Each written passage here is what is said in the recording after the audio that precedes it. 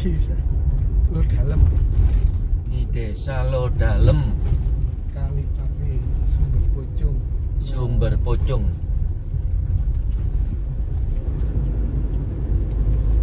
Jalan-jalan perdesaan guys. Bosan di kota, lihat desa-desa. Arjo Wilangun.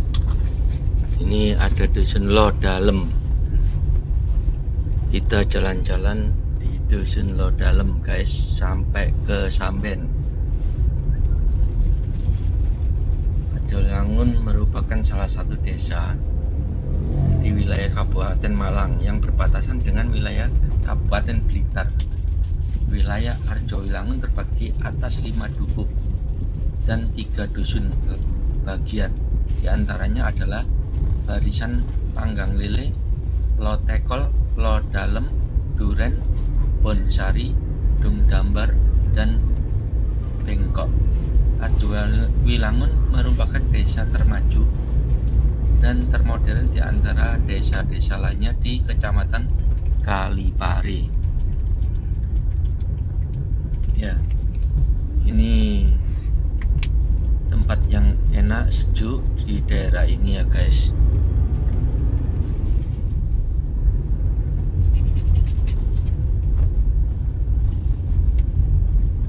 Masuk desa Arjosari. Pusat perekonomian desa Arjo Wilangun berada di dusun Lodalem dan dusun Panggang Lele. Karena di kedua dusun tersebut terletak pusat pasar di desa Arjo Wilangun. Oleh karena itu kegiatan perekonomian penduduk desa Arjo Wilangun terpusat di dusun Panggang Lele dan Lodalem ya guys. Dusun Barisan dianggap berbagai dianggap sebagai ibu kotanya. Karena selain ditempati gedung balai desa, Barisan terdapat lebih banyak pusat-pusat perbelanjaan daripada dusun-dusun lainnya di Arjo Wilangun seperti pertokoan sekelas minimarket atau swalayan bengkel motor warnet counter HP atau toko HP toko pakaian serta percetakannya guys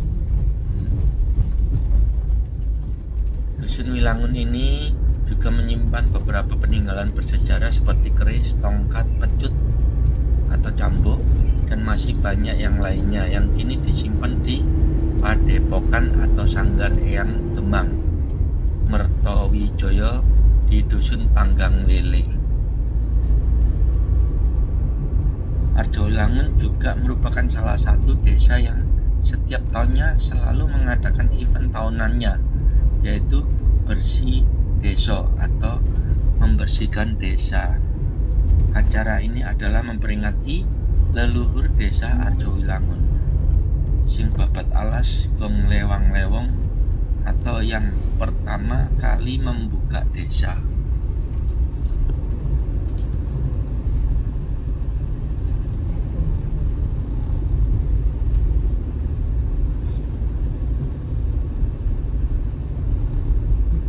Nerimo. Nah, perayaan tersebut biasanya diadakan pada hari Jumat Pahing, Ya, bulan Selo atau tahun Jawa atau Julhijjah tahun Islam. Acara ini dimulai dengan napak tilas untuk mengenang jejak para leluhur, maraton dan arak-arakan Mbak Leang Leong. Selain itu juga ada hiburan orkes Melayu, guys.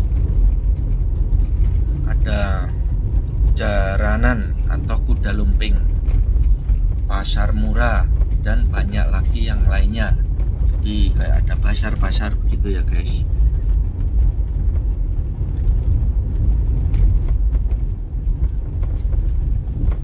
Nah, Arjo Wilangun ini juga disebut sebagai desa budaya karena memiliki keragaman budaya suku, agama dan bahasa.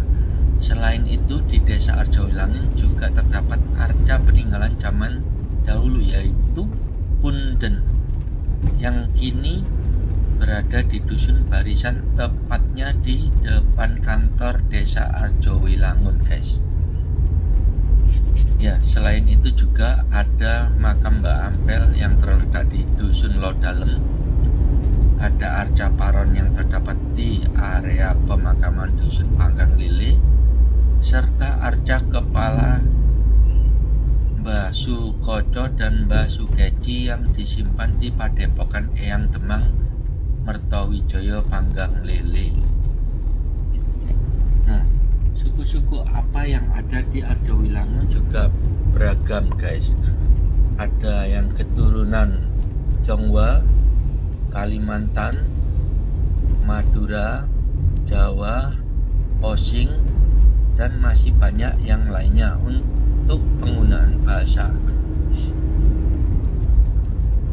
Arjo Wilangun masih menggunakan bahasa Jawi Medok atau bahasa kulonan logat Jawa Tengahan ya guys.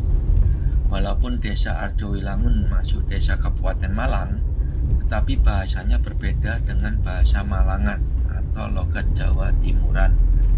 Selain itu, ada juga yang menggunakan bahasa Madura, terutama masyarakat dusun Bengkok karena mayoritas penduduknya adalah uh, berbahasa Madura. Kalirejo masuk desa Kalirejo. Di samping bahasa tersebut juga ada bahasa Arjowilangunan yaitu bahasa Walikan. Bahasa yang dibalik cara pengucapannya berdasarkan kosakata.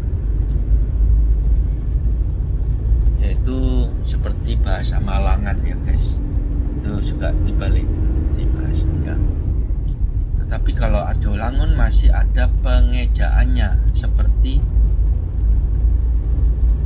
ada pengejaannya gitu ya kurang lebih desa Wilangun itu dan